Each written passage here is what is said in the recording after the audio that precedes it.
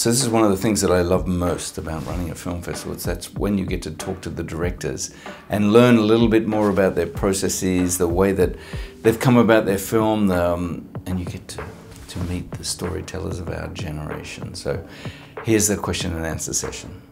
Can you please introduce yourself, tell us the name of your film, and tell us a little bit about your film? Hi everyone, so my name is Arturo Bandinelli. I'm the director of the short film Soma. Soma is a uh, an experimental uh, dance film which um, thinks about the um, origin of, of the human body. It's a kind of myth of origin of the human body. My name is Andrei Stoian. I'm the director of the film The Usual Story of Aurel Lacroix. And uh, this is a film about um, about violence in all its forms and uh, about the way a victim is transformed into an aggressor.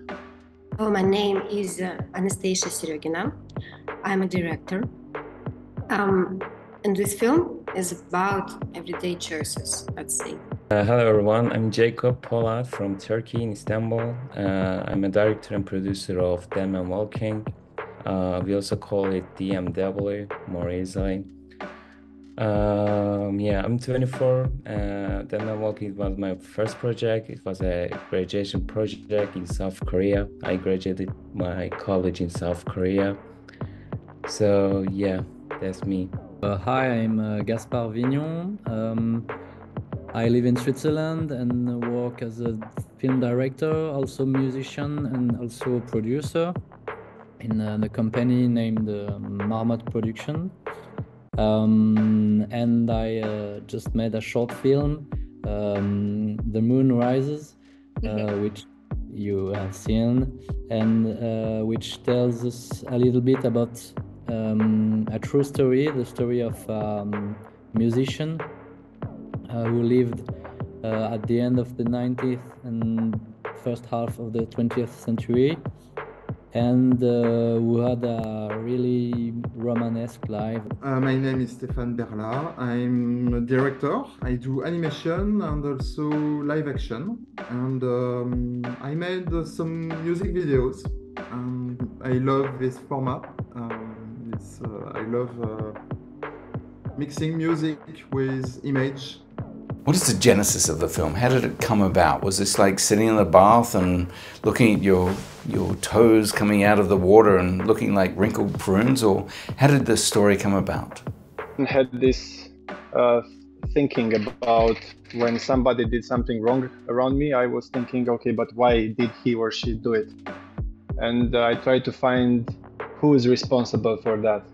But I always got to um, maybe his mother, father, grandmother, people around, and so on, and I could never find the guilty one. Who's responsible for all of this? And I think this just goes on and on for, for, for generation after generation, all the way to the Big Bang. and um, yeah, I try to point out that there is, I think, there is no uh, answer for this, and there's no guilty one because people usually try to find out who's guilty and play the judge okay it's you and yeah blame everything on that person but this is a little more complex the concept of the film was developed in collaboration with Quamp Collective, uh, which is a collective of dance artists based in London. So they asked me to collaborate on a project with them. The collective is formed by uh, Claudia Wittmann, SB Benjamin, and Mary Elish. So we met and started thinking about uh, making making, a, making some work together. Um, and in particular, we started from a research question, which was what is the body, um, and uh, what can a body do? Um, how can we think about it together? Uh, so uh, you know, it's not just a girl's story as it can be seen. Uh, it's more about people in general uh, and their choices. So, uh, what would you choose? Your career or your family? Uh, can you risk it all uh, and throw uh, something away if you worked so hard uh, on your career, for example? Uh, or if everyone is against you, would you fight for um, for people or for things you really believe in? And I guess the main question is, uh, can you have it all? It's really two things. It's just the piece of music that we hear uh, in the rehearsal, and then at the end uh, in full uh, completion. Mm-hmm. music that just touched me deeply um, and profoundly, and which I felt it was connected with his life, his his biography, his his path of life. For those of us who, who delve and dive into the technical bits of a film, how long did it take to shoot and edit your film? Mm, no, I think it took one week or two just so I can imagine the concept. I offer something, they say yes. Um, we study a bit how to do it, but the um, directing, the fabrication of the music video, yeah, it was two months so in two months we did everything. Um, I didn't have the storyboard yet, so there was it was from the storyboard to the final image. It was uh, two months because uh, the goal was to release the music video before Christmas. Um, because there was a new album going uh, that will be that had to be released, so it was necessary to do it in two months. It uh, was uh, a very long journey, uh, frankly speaking, because um, uh, then I put it, you know, as a note and I wrote it uh, because I'm a screenwriter too as well. Um, it was uh, about a year or, or, or two uh, when I just um, uh, couldn't decide should I should I um, you know perform it or not because uh, the world has changed dramatically, uh, and I wasn't sure about um, can I can I uh, talk about such private small things, you know, uh, because it's not about world in general. It's not about um, some um, big events. It's more about private life um, and your personal affection. Um, but I decided that uh, if it can be um, important for me, so it can be important for other people um, as well. So I guess it was about uh, two or three years. And from the moment we decided to make a film together to the moment we started filming, um, almost one year had passed. I mean, that included, you know, finding uh, money to make the film, um, and you know going through the pre-production. Then it took us about a week to shoot the film and about another seven to eight months to complete the post-production. It was a very a very long process. It, it is often the case when you're working with um, limited budgets, um, and also when you are sort of doing the film in a way that um, that is not primarily for commercial release, and so you don't have the same deadlines as, say, when you have a, a, a particular kind of uh, commercial release in mind. As I told you, we filmed in two other countries, so it took about six to seven months. The shooting was quite short because we had money, but not enough we wished for because it's a um, historic film with costumes and a lot of things that cost uh, quite much. But we had still enough money to do something so we did it. And uh, it was shot in like three day and a half. Making a film is a laborious tedious wondrous experience. Can you tell us a little antidote um, happy sad funny story about making your film there is an um, interesting point. It was right at the beginning of the first shooting day.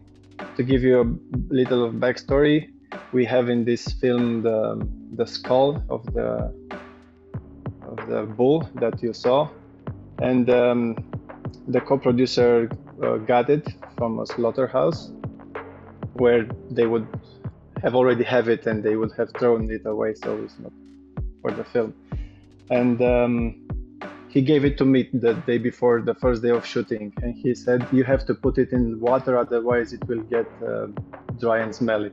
So I put it in my bathtub, and I just forgot about it. We had so much work to do, so much to prep, and uh, the morning I woke up after like three hours of sleep, barely awake. I went to the bathroom. It was dark. The sun was not up I turn on the light and I the first thing I see is a huge skull in, in my bathtub. I just frozen. I, I didn't remember why is there, why is it, is it real?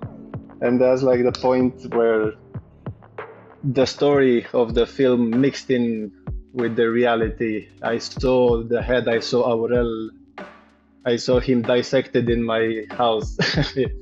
yeah, it's where the two worlds mixed together. Uh, the final scene, the final scene uh, at the garage, the parking garage, uh, the final scene, uh, we really broke the wall actually. So, yeah, it was a really uh, fun story while we were filming. Um, after that, uh, in Turkey, actually, no one professional actor actually. It, he he was my dad actually, the Turkish boss he was my dad and the other guys my cousin so it was a hard to train them to acting and something like that. So i enjoyed that and i really learned a lot of things while making the dmw life is about learning and um, lessons learned and often they're hard difficult lessons that we, um, we take with us for the rest of our lives to make us better and hopefully easier. Um, did you learn any lessons from making your film?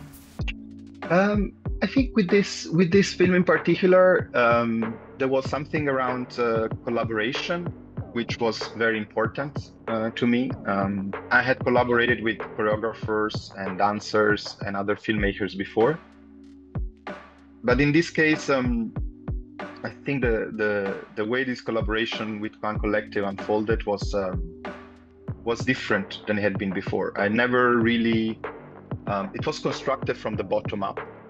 And so we had to go through so many different stages. Um, and uh, it just reminded me that it is very important to trust the people you collaborate with and to um, to allow other ideas to uh, merge with your own and trying sort of perhaps the way I, I see making films or directing now uh, is more around asking the right questions to people than trying to force in your answers.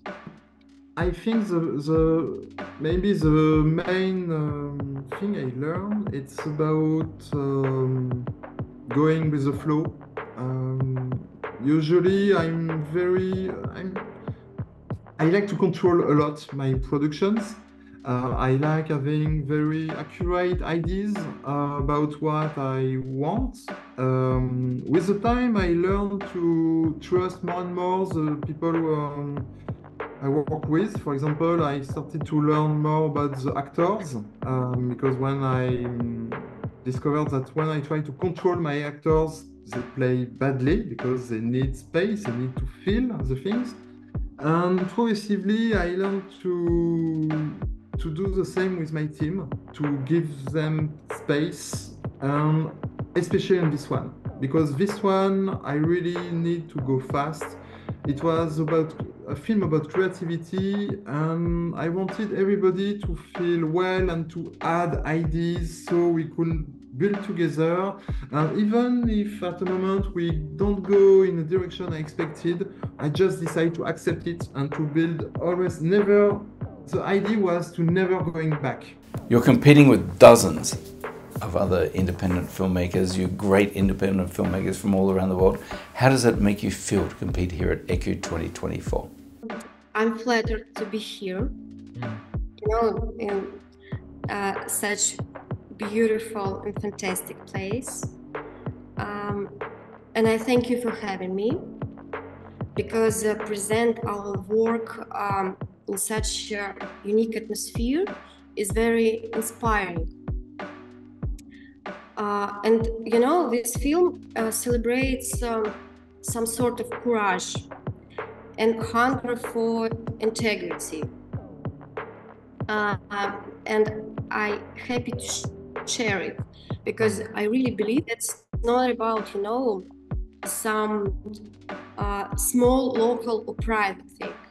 Um, I'm happy I can share it with people uh, and you that it can push the limits away. Maybe just you know uh, push it harder.